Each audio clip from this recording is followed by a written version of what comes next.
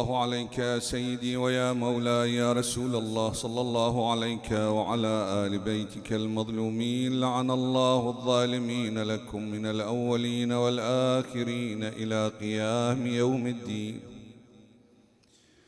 صلى الله عليك يا سيدي ويا مولاي يا أبا عبد الله يا غريب يا مظلوم كربلاء ما خاب من تمسك بكم أمنا من لجأ إليكم يا ليتنا كنا معكم سادتي فنفوز فوزا عظيما. أعوذ بالله من الشيطان الرجيم. بسم الله الرحمن الرحيم. الله نور السماوات والأرض مثل نوره كمشكات طبعا هذه الآية الشريفة تتحدث عن نحو رفيع من أنحاء المعرفة. تتحدث عن مستوى عال من مستويات المعرفة البشرية. لأنه كما أسلفت في الليلة الماضية.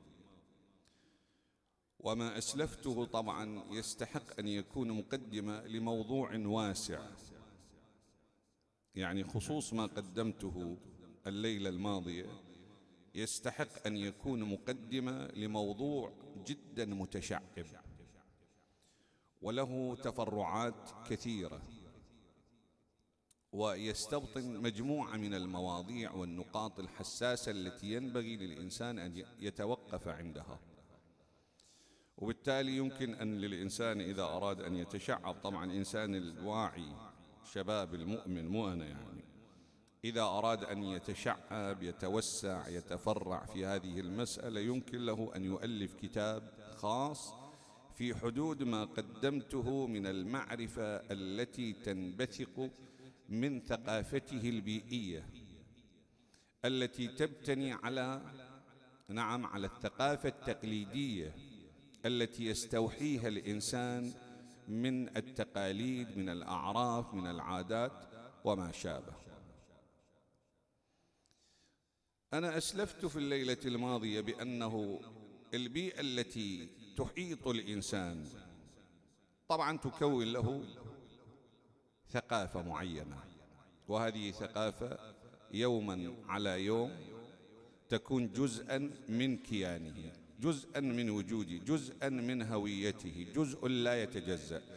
وإذا أراد الإنسان أن يستقل عنها أن يتجرد عن هذه الثقافة يحتاج إلى معاناة وإلى جهد وإلى تضحية كما فعل النبي صلى الله عليه وآله أعطى ثمنا باهظا وأوذي رسول الله صلى الله عليه وآله من أجل أن يحرر المجتمع. لكن أكو مسائل أيها الأحبة. المسألة الأولى التي ينبغي أن نتفرع إليها ولو بإيجاز أنه نحن قلنا بأن الإنسان يكون أسيرا للثقافة البيئية التي تحيطه. هل يعني ذلك أنه لا بد للإنسان دائما وعلى نحو الإطلاق أن يكون ملحدا بجميع القيم والأعراف والتقاليد الاجتماعية؟ طبعا هذه المسألة هذا التساؤل أحدث إرباكا فكريا.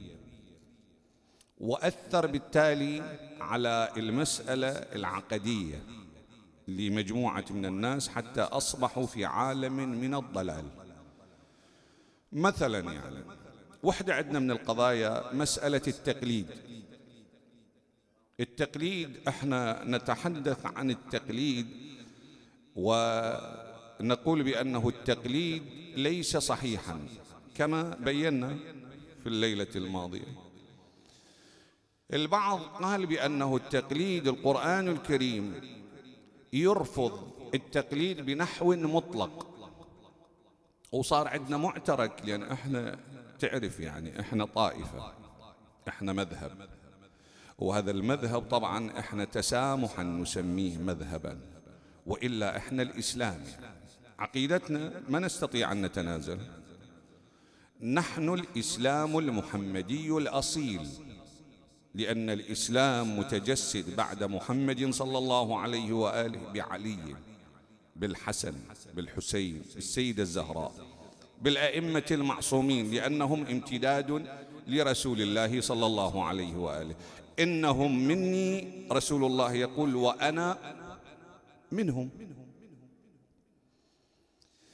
فالآن إحنا لما نأتي إلى مذهبنا إلى ديننا إلى مبدئنا وعقيدتنا. نجد لدينا قضية تسمى بقضية التقليد.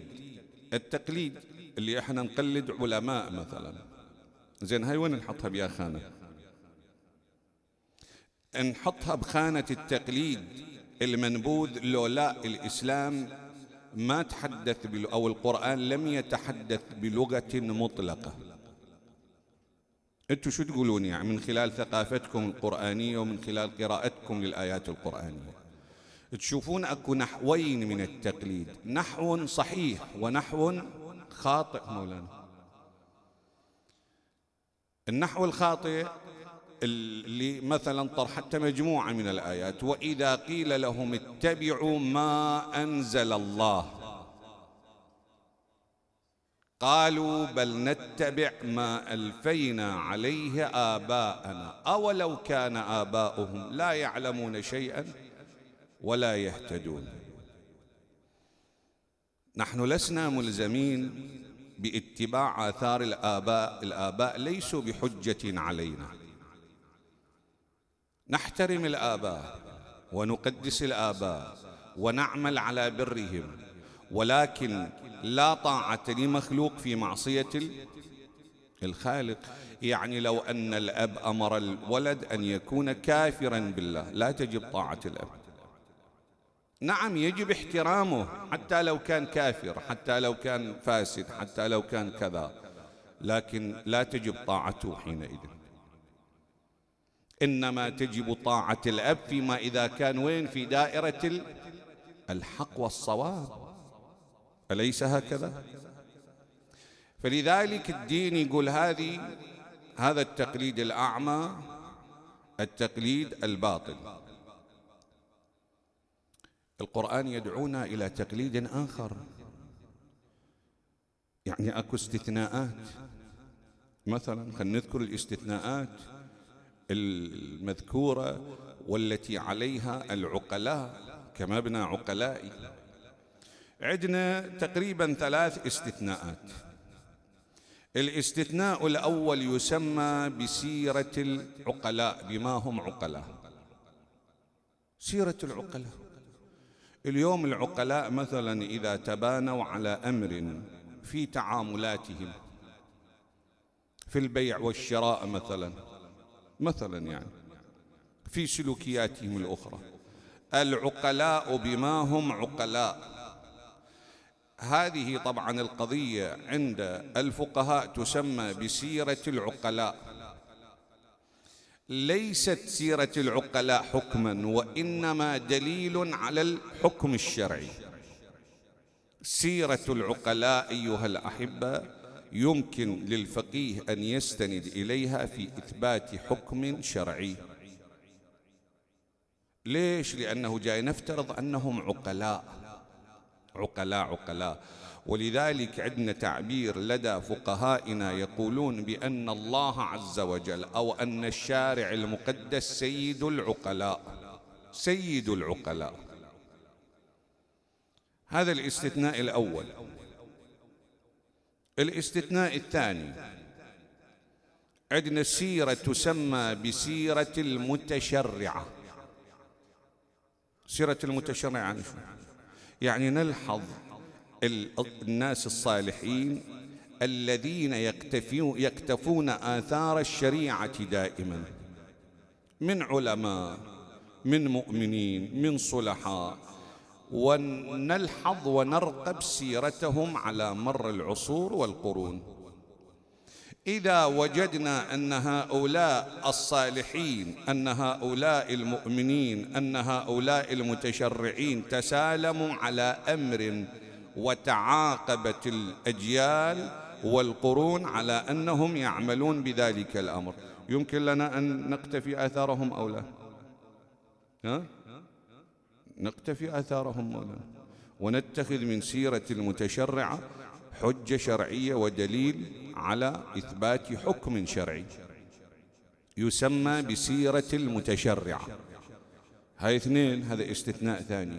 بعد مولانا عندنا سنة الصالحين سنة الأنبياء. السنة السنة للأنبياء والصالحين. فاتبعوا ملة إبراهيم حنيفا. القرآن يدعونا.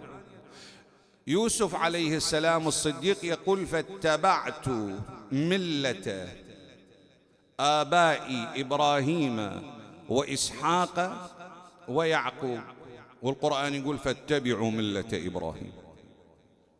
نحن مأمورون أن نقتدي وأن نتأسى وأن نستن بسنة رسول الله صلى الله عليه وآله.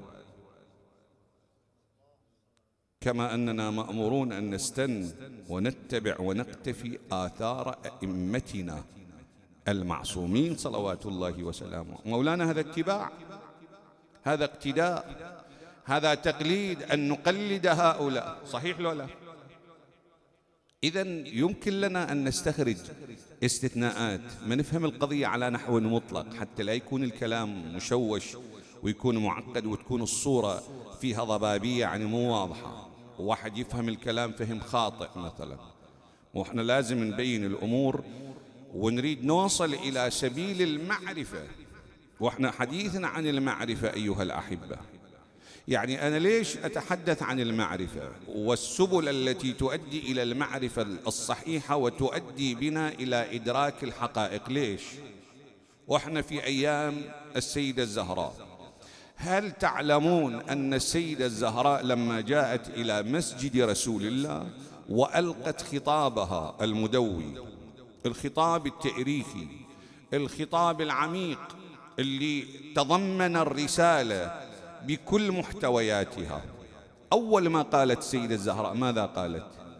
قالت أيها الناس اعلموا أني فاطمة. بالله عليكم. يعني لو وضعت هذه الكلمة في ميزان التقييم العلمي والبلاغي اعلموا أني فاطمة وتخاطب قوما معاصرين لها ولأبيها وجدها وشاهدوا أو شهدوا ولادتها.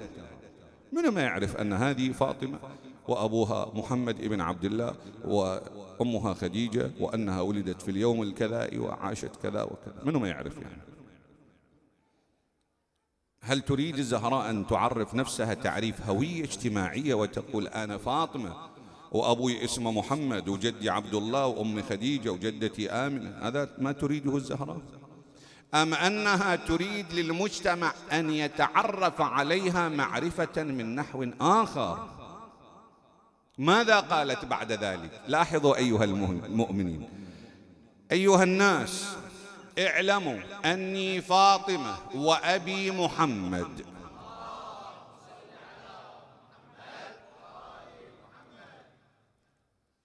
أقول عودا وبدوة ولا أقول ما أقول غلطا ولا أفعل ما أفعل الشططا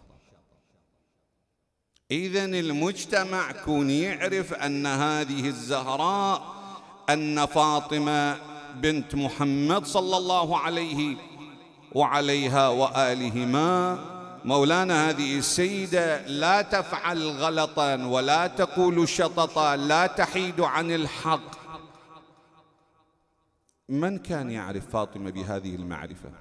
إيش كم واحد كانوا يعرفون السيدة الزهراء بهذه المعرفة؟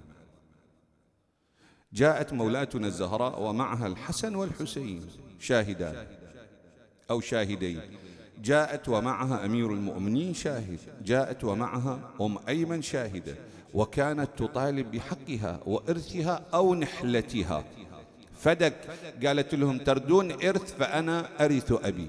أفي كتاب الله أن ترث أباك ولا أرث أبي؟ لقد جئت شيئا فريا لكن مع ذلك أبطلوا شهادة الحسن والحسين. قالوا بأنهما صبيان.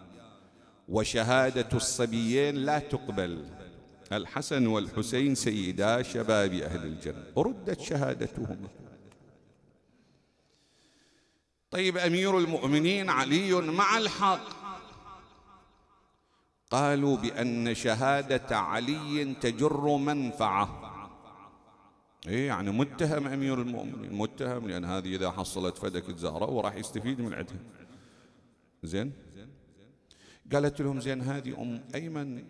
قال عنها رسول الله أم أيمن امرأة من نساء أهل الجنة. ما صدقوها قالوا نعم أم أيمن مقبولة شهادتها وانت بس طلع من أهل البيت مولانا تقبل شهادته وإذا دعا إلى أمر اتبعه الناس وإذا طلع ثائر الناس همتين يطلعون يثورون وياه. بس طلع من دائرة آل محمد. عجيب هالمجتمع هذا. إيش عنده ويا أهل البيت ما أعرف.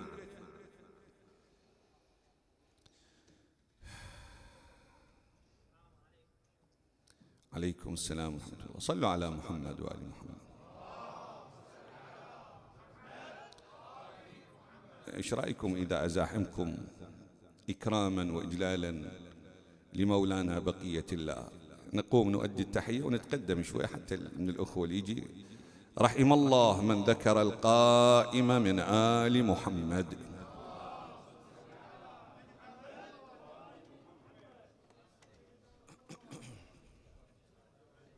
جزاكم الله خير.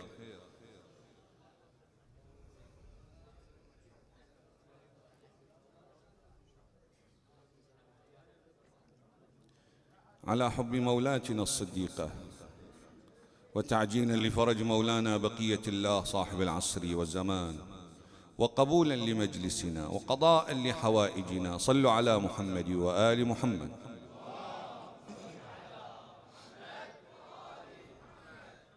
فردوا سيدة نساء العالمين ردوها وليس ردا فحسب وإنما أساءوا إليها في القول والعمل.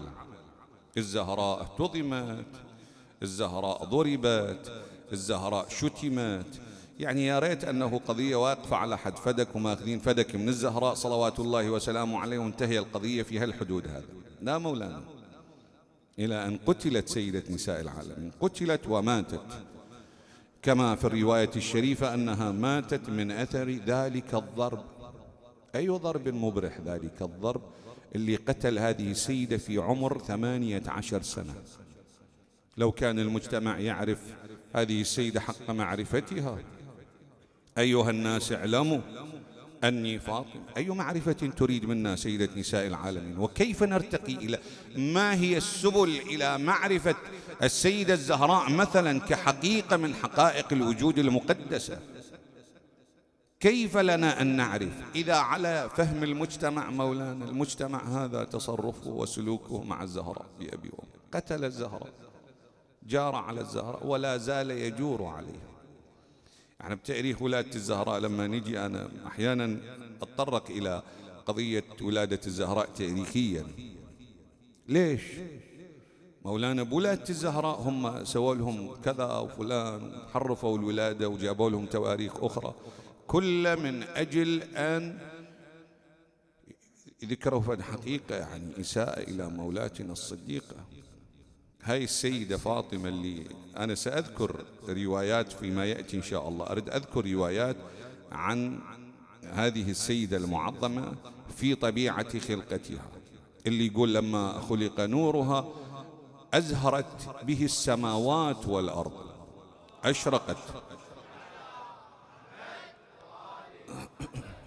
حرفوا تاريخ ولادة الزهراء أرجعوه عشر سنوات إلى الوراء. ليش؟ لأنهم يقولون بأنها كانت ذميمة وكانت قبيحة المنظر بحيث ما كان يطمع بها طامع من الرجال يعني. شايف؟ وهذه كتابات مولانا العلامة الأمين يستقرأ هاي الأقوال يعني تقراها تكون تمزق ثيابك من الحزن والأسى. كيف الإنسان يرتقي يعني؟ إحنا نرتبط بأهل البيت صلوات الله وسلامه عليهم لابد أن نرتبط بهم ارتباطا معرفيا.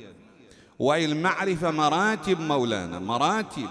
عندنا معرفة أسمى مراتب المعرفة اللي تشير إليها آية النور واللي إحنا طريقنا إلى الوصول إليها هي المعرفة النورانية. هي المعرفة الروحية مولانا. فالإنسان أحيانا يقتصر على بعض الجوانب ويتعبد ببعض القضايا وتكون معرفته معرفة قاصرة. معرفة عمياء شوهاء عرجاء خرقاء. للأسف الشديد مثل ما الآن إحنا أكو ناس ينتسبون إلى أهل البيت وينكرون فضلهم. ينكرون فضل أهل البيت.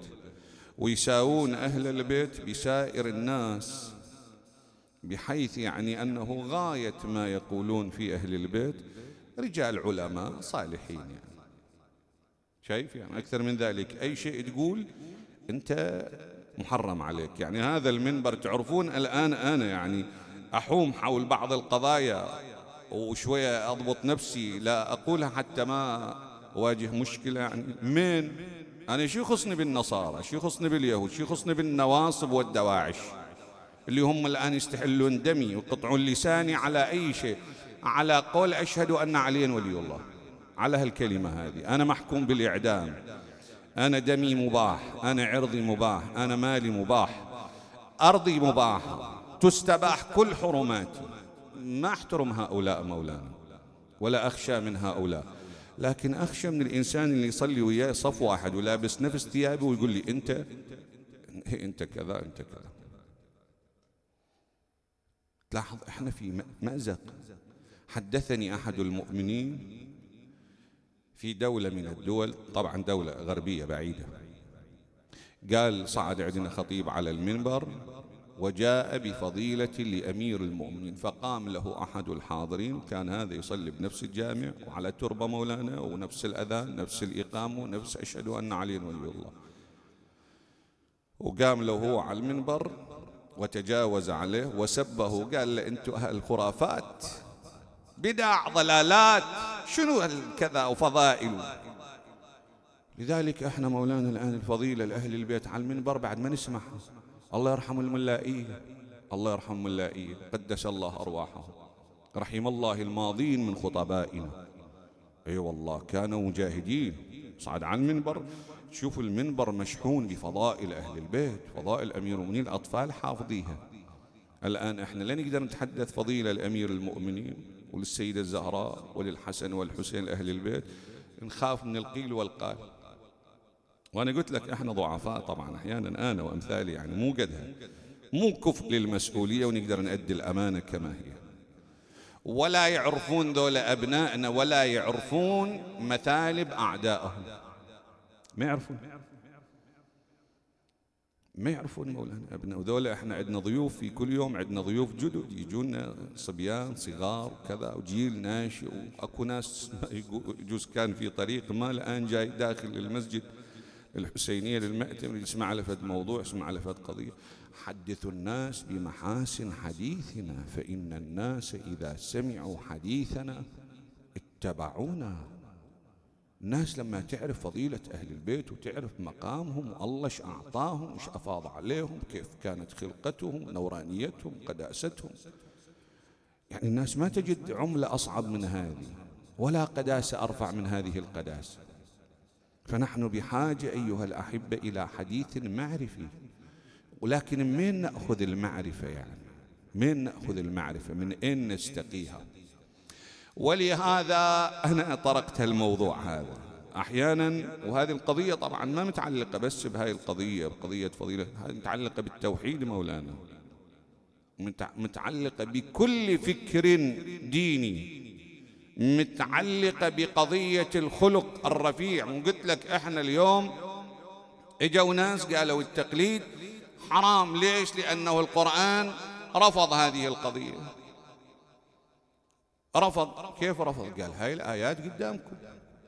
وإذا قيل لهم اتبعوا ها ما أنزل الله قالوا بل نتبع ما ألفينا عليه آباء قلدوا آباءهم وأنتم جاي تقلدون لا مولانا.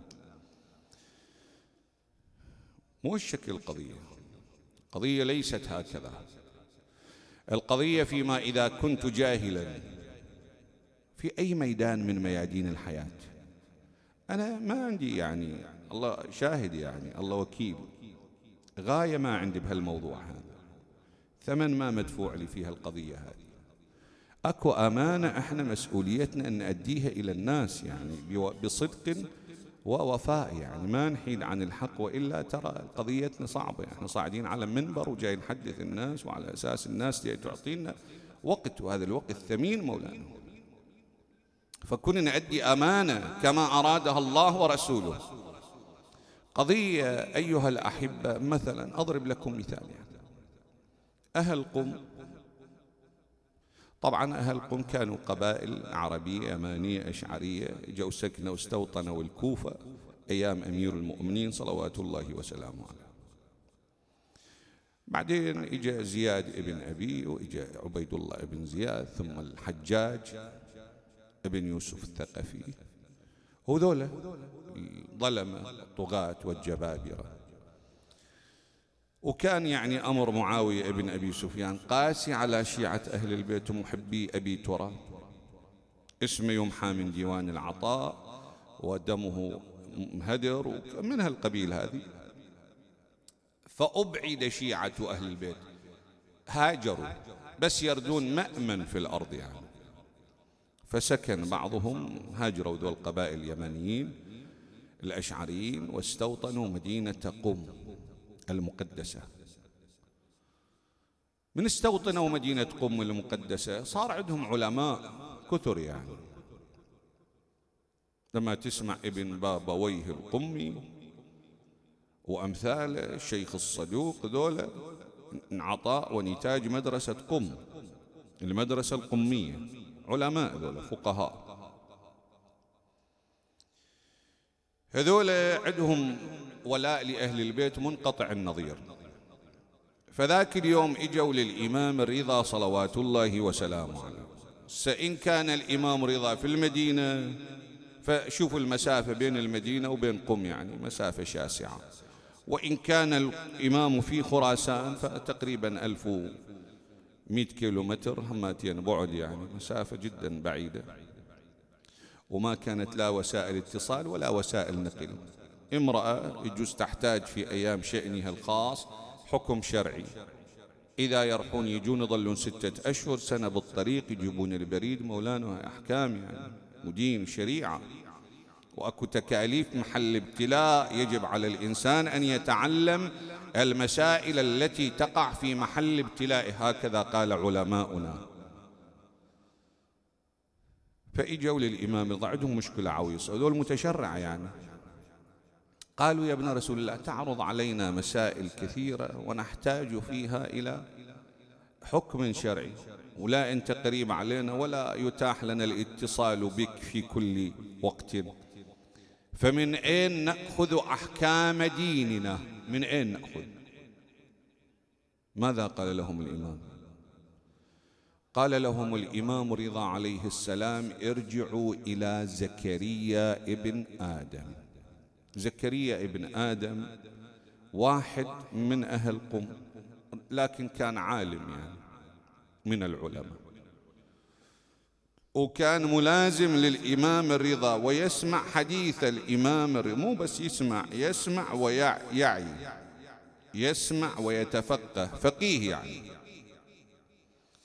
فالإمام نصب لهم مرجعا يرجعون إليه في أحكام دينهم ويسألون عن الحكم الشرعي. زكريا بن آدم لما يجيب الناس يجيبهم من عنده أم عن الإمام؟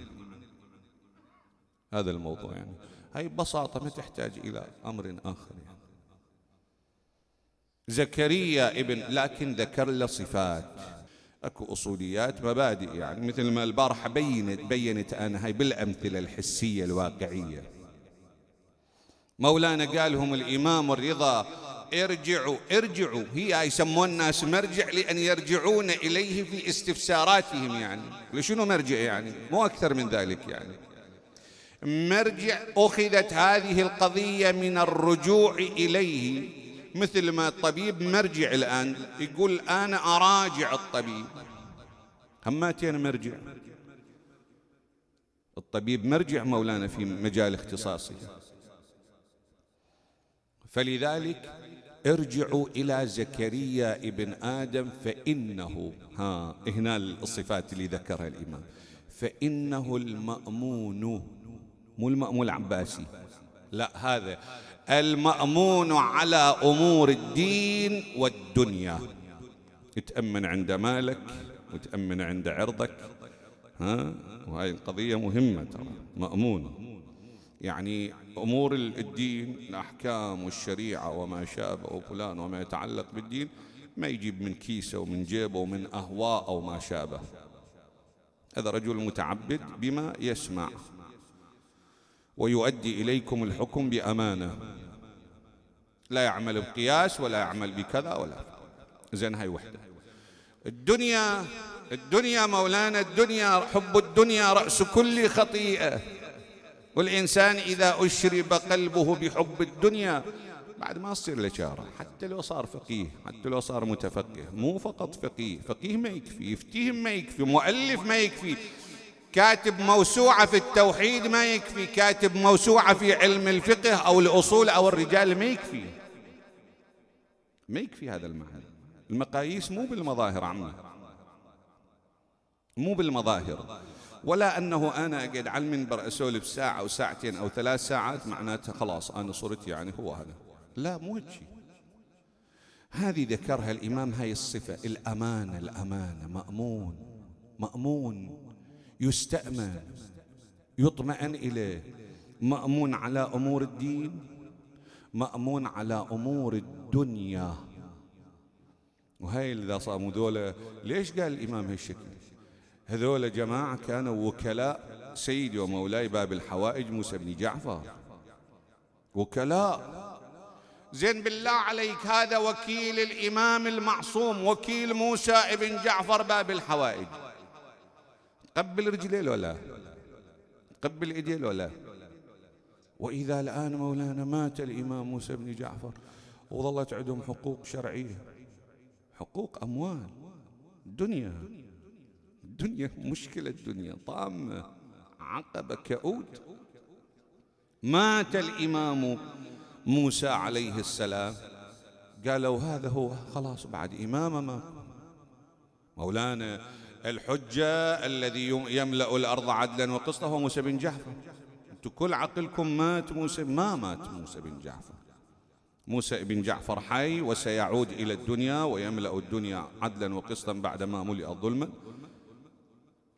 قالوا ننتظره. وإحنا بخدمتكم هاي الأموال عندنا.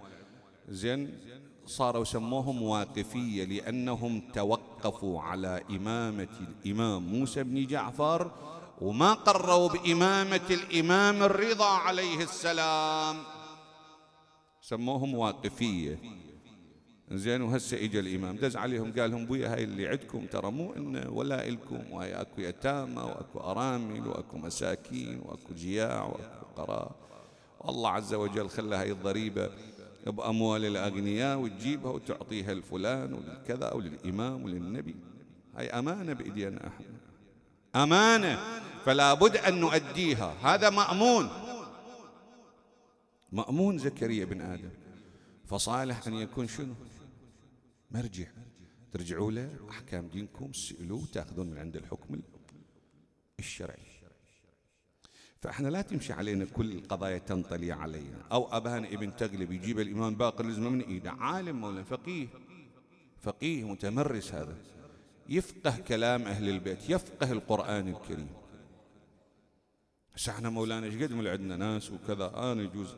إذا تريد تابعين تابعون القراء المصريين الآن وما أدري إيش وذول المتمرسين بالتلاوة وعلم التجويد والقوانين التجويد يطلعون عندي جزء 30 40 خطأ بسورة الحمد.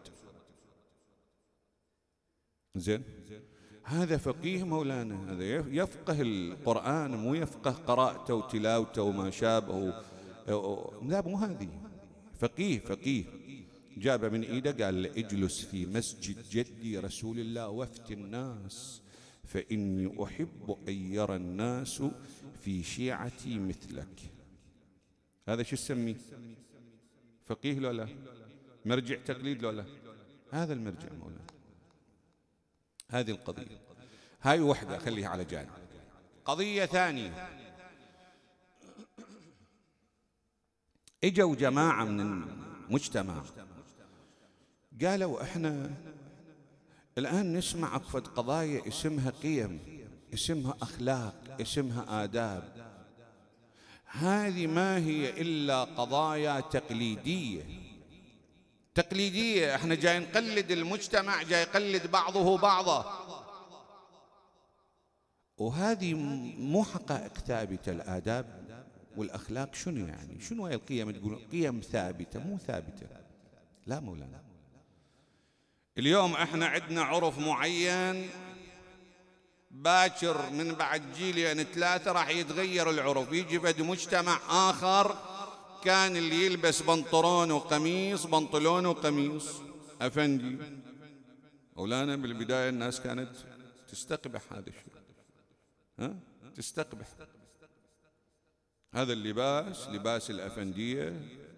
في البداية المجتمع يستقبح. ليش؟ قالوا هذا جاي يقلد النصارى هذا بأهل الكتاب. ما يجوز. وذول يروحون للمقاهي يقعدوا الأفندية المثقفين يقرون مجلات جرايد ما أعرف إيش يروحون للمقاهي. يقعدون بالمقاهي وصارت قضية المقاهي وارتادها العلماء وكذا. لأنه ذول المجتمع ما يقبلهم. مو بس إحنا مجتمعنا أصولي حتى المجتمعات الغربية كانت أصولية محافظة. ما كان عندهم عري ولا كان عندهم تبرج ولا كذا. إجت المافيات مولانا هاي واحدة من الأمور اللي أريد أذكرها. المعرفة الاقتصادية يعني على أسس اقتصادية درسوا الحياة. قاموا يتاجرون يعني يتبضعون بالدعارة بالشرف بالكرم. ليش؟ لأن يدر عليهم مال. شنو شرف شنو كذا فلوس مولانا فلوس. هوليود ما أدري إيش قد وارداته سنويا كذا مليار دولار من وراء الأفلام الإباحية وما شابه. شنو شرف؟ شنو مبادئ؟ شنو مرأة؟ شنو حجاب؟ شنو كذا؟ أموال أموال فلوس دنيا. فكفروا بجميع القيم والمبادئ. قالوا ماكو شيء اسمها قيم ماكو شيء اسمها مبادئ ماكو شيء ثابت. لذلك العادات والتقاليد والآداب تتغير من ملة إلى أخرى من مجتمع إلى آخر. شايف يعني؟ فكفروا بكل القيم والمبادئ. وصاروا ملحدين مولانا ملحدين. وصل بهم الحال قالوا هذا اللي اجى به محمد صلى الله عليه وآله وسلم هذا منسوخ منسوخ من الديانات الأخرى من الحكماء من كذا. ورسول الله هذا النبي مالتكم محمدكم نابغة كان. واستوحى من هنا ومن هناك وجمع القرآن وجابه خلى بيد الناس. ذولا لما تجي ما نظروا إلى الخلق والقيم والمبادئ بأنها نابعة من طبيعة بشرية. وهي الطبيعة البشرية مشتركة. لاحظوا أيها الأحبة شيء أخير أقول لأن الوقت راح. إحنا أنا اسمي هشام. أنت اسمك أحمد. هذا علاء. هذا محمد. اختلفنا بشنو؟ بالمسميات. هذا لونه أبيض. ذاك لونه أسود. اختلفنا بالألوان. هذا طويل هذا قصير هذا معتدل هذا ربع هذا كذا. اختلفنا بالأشكال. مو الشكل؟ مولانا هاي المظاهر الأسماء العناوين مسميات الكذا الأشكال الصور الناس يختلفون فيها. لكن أكو جوهرة موجودة هذا قاسم مشترك بين جميع البشرية وهي ما عبر عنه القرآن الكريم حينما قال ونفس وما سواها فألهمها فجورها. النفس اللي عندي موجودة بجمالها وكمالها وقدراتها وطاقاتها موجودة عندك موجودة عند عمر موجودة عند أحمد عند علاء عند محمد عند الجميع. كلهم من نفس واحدة. هاي النفس لكن هاي النفس أحيانا الإنسان يعمل على إضعافها ومرة يعمل على على طاقتها وقدرتها فيتسع نطاقها. مولانا هاي الطبيعة البشرية اللي تدرك حسن الأخلاق والآداب مشتركة. لكن المجتمع ينافق الناس تنافق تكابر. وإلا هذا اللي يقول لك ماكو شيء اسمه قيم مبادئ أخلاق ماكو. روح يما اقعد بعنوان الثناء والمدح. قل له أنت كذاب. ها؟ أنت منافق. أنت خائن. أنت يقبل من عندك هذا اللي يقول ماكو مبادئ ماكو قيم. يقبل لو يتعارك وياك. هذا سواء كان سواء كان مؤمنا أو كان ملحدا. لما تروح لمولانا وتريد تثني عليه وتقول له أنت كذاب أنت منافق أنت خائن أنت كذا أنت من هالقضايا؟ ما يقبل من عندك. ما يقبل. لعد إذا تريدني أنا أنبذ القيم والآداب والأخلاق ليش ترفض يعني أنت؟ وليش ما أكو نقول هنالك ثوابت اسمها قيم مبادئ المجتمع بطبيعته أو النفس البشرية بطبيعتها تستحسن تلك القيم والمبادئ. تستحسنها وباعتبار أن الديانات مصدرها واحد لذلك نشوف أكو قواسم مشتركة ولو نسبية. لأن إحنا ديانة عندنا الآن يعني ثابتة بنحو صحيح هي الديانة الإسلامية. البقية فيها تحريفات فيها تشويهات فيها كذا. عندنا ثوابت مولانا. هذا الموضوع أكمل إن شاء الله. لكن لما تأتي سواء كانت الديانات أصلها نبوية سماوية شرقية مثل ما يعبرون عنها يهودية نصرانية مسيحية إسلامية كذا صابئية أصلها سماوي. هندية يعني بوذية أو سيخية مثلا أو ما شابه أو لا كانت مثلا هاي الديانات ترجع إلى ما ترجع إلى أصل النبوات يعني إلى أنبياء ورسل وإنما ترجع إلى حكماء مثل كونفوشيوس ومثل ماو تسو وغيرهم الديانات الصينية. ترجع إلى رجال حكماء. لكن هاي الطبيعة البشرية مولانا مشتركة. والرسالات اللي إجت من السماء واحدة اللي عبر عنها القرآن الكريم بملة ها؟ فاتبعوا ملة إبراهيم حنيفا وما كان من من المشركين. لذلك تشوف أكو قواسم مشتركة. لما جابوا رأس الإمام الحسين دخلوا على يزيد ابن معاوية خلى الرأس المقدس قدامه. ورأس أبي عبد الله يتلو كتاب الله. وهو يأخذ عود خيزران وينكث به ثنايا الحسين. ثنايا أبي عبد الله ينكث يضرب على ثناياه على أسنانه. واحد نصراني جاي رسول اليزيد ابن معاوية. دخل عليه. قال له هذا رأس من تضربه بعصاك؟ لأن هذا الأكو ناس يعني دول يجون رسل ترى مو ما يختارونهم ناس عاديين. هذا يعرف ما خلى الرئيس قدامه إلا رأس رجل ها صاحب حسب ونسب وكريم وعظيم وقلبه موتور من عنده وموجوع خليه جاي شفه شف غيظه وجبان يعني شف غيظه بهالطريقة اللئيمة. رأس من هذا تضربه هذا مو رئيس عادي مخليه قدامك وبطشت والناس تعاين. وتضرب على شفايفه كل ساعة تضرب على شفته منو هذا؟ شو يقول يعني شو يقول؟ قال له هذا رأس رجل خارجي. خارجي. قال شو اسمه؟ قال اسمه الحسين. هذا قام يلح. عرف هذا إلى شأن يعني يريد يستقرئ. قال له الحسين من أين هو الحسين؟ من أبوه؟ من أمه؟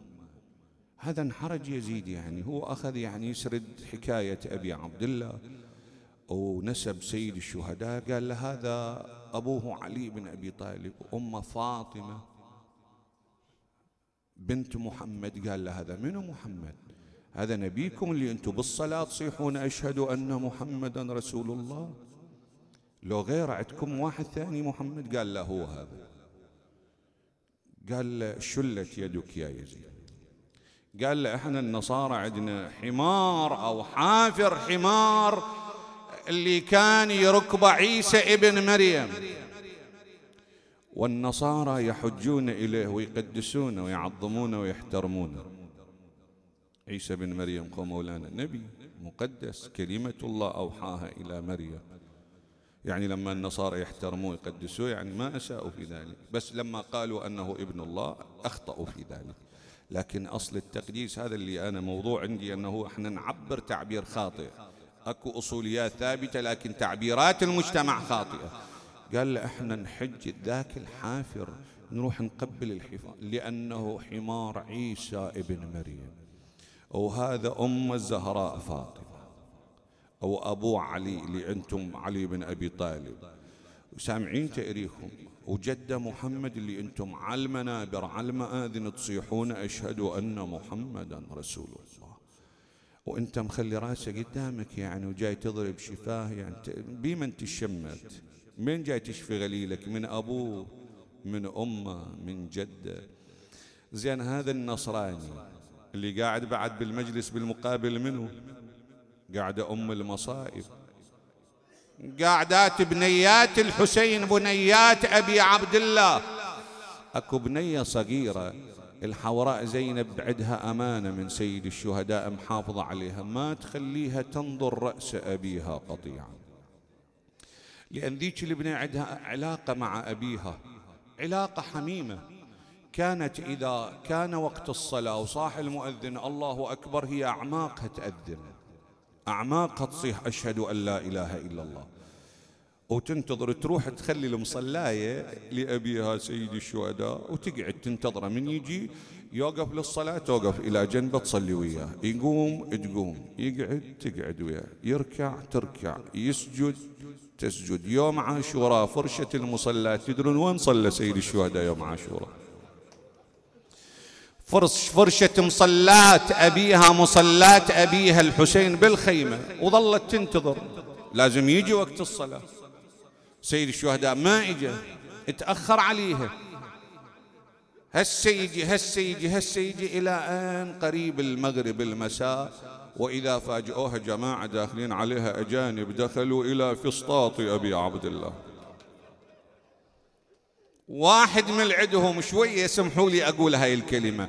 واحد منهم من إجازة مولاي صاحب العصر والزمان وطأ بنعله على مصلاة أبي عبد الله الحسين. ما تحملت هاي البنية هي شايفة اللي صار برا لو ما شايفة. ما تدري. خل اللي صار برا السماء مطرت لدم.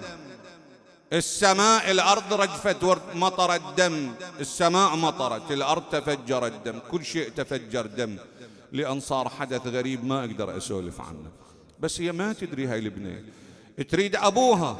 لما نظرت إلى هذا الخبيث وطع على بساط أبي. قالت ويحك يا خبيث كيف وطأت بساط أبي الحسين بنعلك؟ وكهذا البساط يسجد عليه أبوي. شلون تدوس بنعلك؟ هذا اللي ارتكب ذيك الجريمة يحشم هاي البنية آجركم الله وإذا به صفعها على وجهها. صفع البنت. زين هاي البنية إذا انضربت الصغير الطفل شايفينه من ينضرب يخلي إيده على ضربته. ويروح يدور يريد له واحد حبيب يريد تروح لأبوها البنية. تشتكي تقول له أبه تعال شوف فلان ضربني. وين أبوها؟ تريد تطلع ما يخلوها. ما تقدر تطلع. ظلت على هذا الحال. ظلت تنتظر. أبه قالت عمة عمة زينب أين أبي الحسين؟ أنا أريد أبوي أشكيله آذوني ضربوني عمة. أين والدي؟ تضمها إلى صدرها. تقول عمة إنه مسافر. مسافر عمة. اصبري أبوك مسافر.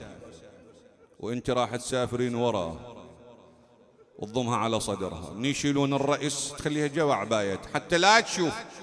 مولانا بذاك اليوم لا بالخربة كانت بالخربة قام شاط من الليل ناحا قام شاط من الليل ناحا ناحا كل وحدة بكتر يا ويل طاح عود الضيم باكر يستراحن باكر يوقفن بين المية باكر يا عظم باكر عليه.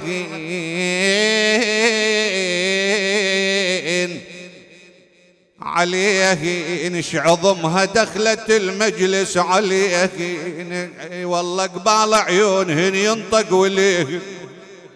وباكر يوقفن بين الأمية. يقول نص الليل انطفله بحلمها جرح جاسب. الله أكبر. ملح جاسب جرح منها ولجمها بعد ما حد يسميها باسم. يسموها رقية الخارجية. أولي.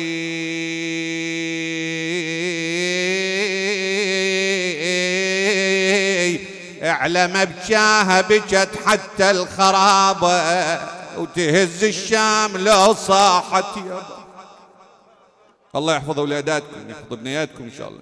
شايف البنية الصغيرة الان من ترجع عندك ابنيه تلقاك لو لا. الله يقرع عينك إن شاء الله ويقرع عينها بيك.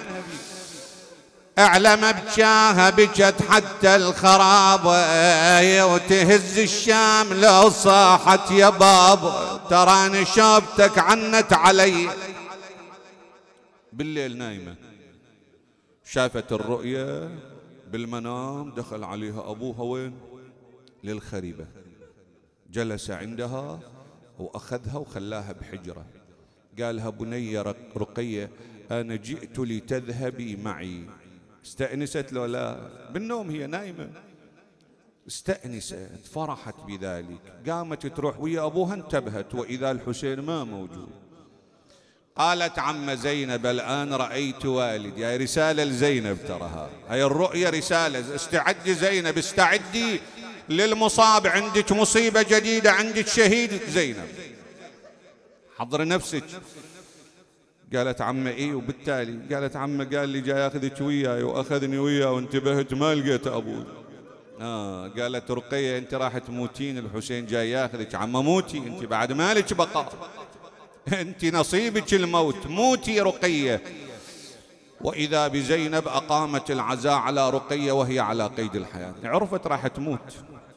بكت زينب العائلة رقية تصيح أبا والعائلة تصرخ تضج تبكي. ارتفعت الصرخة ما الخبر؟ قالوا هاي بنية صغيرة تريد أبوها. بالخرابة من هاي؟ المن بنية من؟ قالوا هاي بنت الحسين.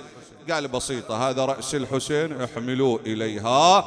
ووضعوا الرأس في طشت غطوه في منديل وجابوه للخرابة. جابوه خلوه قدام البنية. رجعت لي ورا. قالت عم اعذرين يا عم زينب أنا ما لا رايدة طعام ولا أريد سلوى. عم أنا أريد أبوي الحسين. اعتقدت بأن دول عندهم كذا وجايبين لها طعام يسكتوها. الحوراء زينب كل مرة تضم رقية جوع عبايتها المرة لا دفعتها قالت عم أنت مو تردين أبوك؟ عم أتريدين أباك قالت نعم قالت ارفع المنديل سوف ترين أباك لما رفعت المنديل وإذا برأس الحسين أيوا حسينا.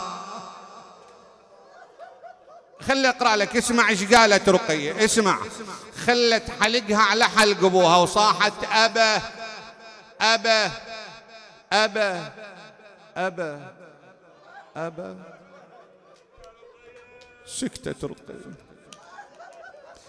تقول أبويا جروح قيدي من ولا مسهن تراب لاك من أنا صغيرة وجريها ذنب مني يضربون من أزيد عليك ون بعد إيش قالت؟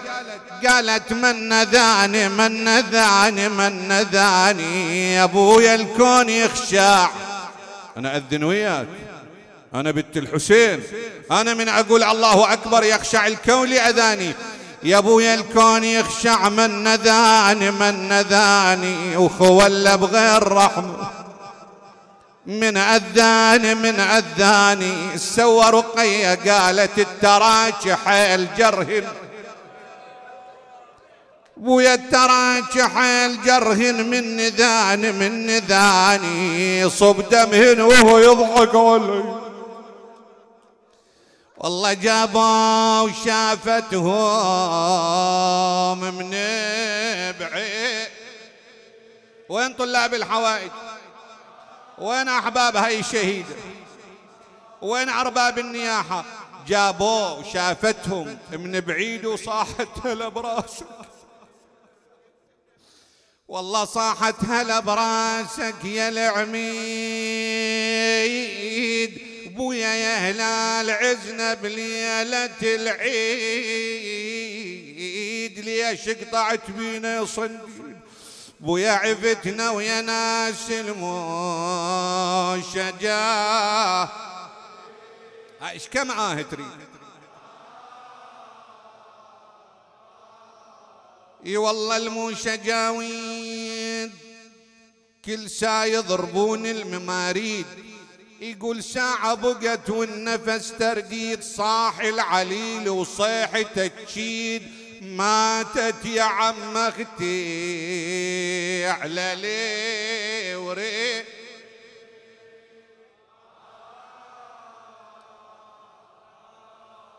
اعلى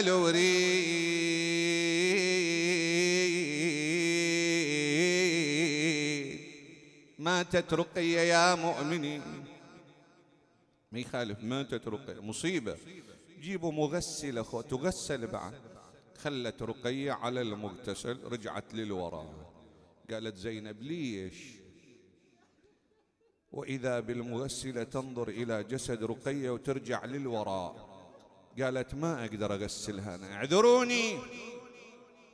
اعذروني ما أقدر أغسل هاي الطفلة أخشى أن يكون بها مرض معدي. لأن هاي جسدها متغير متلون هاي مريضة. قالت زينب لا والله ليست مريضة أصحى مني ومنك. لكن هاي آثار السبي مو إحنا جابونا سبايا. يا أبو فاضل يا سيد يا مولاي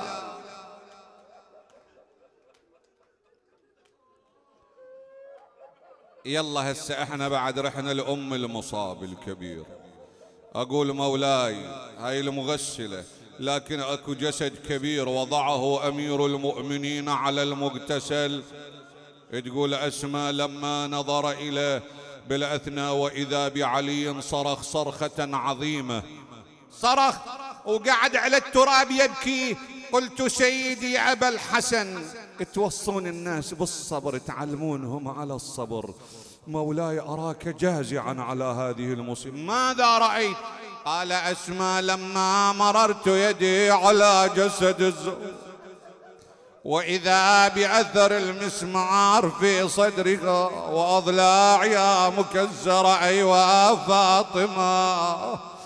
لكن مع ذلك سادتي يقول له واحد من الشعراء يقول للأمير المؤمنين. يقول له ضلع واحد يا علي وهد حيلك شاضلوع حسين شس. إلهي ارحمنا بالحسين. اللهم اغفر لنا بالحسين وارض عنا بالحسين وادفع عنا كل وباء وبلاء بالحسين. آمنا بالحسين. اجعلنا وجهاء عندك بالحسين. اقضي حوائجنا بالحسين. لا سيما الطالبين طلاب الحوائج من أوصاني بالدعاء امير المؤمنين أقسم عليك بسيد الشهداء. وهاي الأيدي اللي توسم الصدور باللطم وبالخدمة. أقسم عليك بكفي العطاء لقمر العشيره ألا تنزل هذه الأيدي خالية من عطائك ولطفك ورحمتك. يا الله اطلبوا حوائجكم. شافي وعافي كل مريض بصدر الحسين. تقبل من المؤسسين والحاضرين والقائمين على هذه الخدمة إلى شرف مولاتي وسيدتي رقية بنت الإمام الحسين إلى أرواح الشهداء والعلماء وخدام الحسين قاطبة لا سيما المرحوم سيد جاسم الطويرجاوي موتاكم موت المؤسسين رحم الله من أهدى ثواب الفاتحة مع الصلوات.